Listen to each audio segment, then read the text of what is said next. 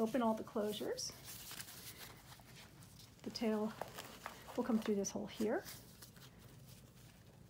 So the diaper goes on like this. Okay, so we go around the neck. And then there's a closure over the shoulders. Then we pull the back over the tail, so thread the tail in.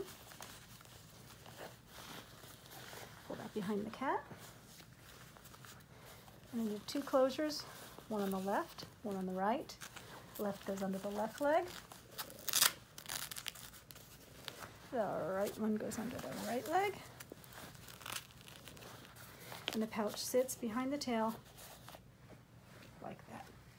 And you can straighten that out if you want.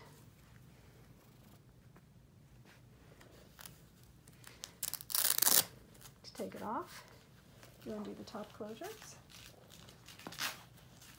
You undo the shoulder strap.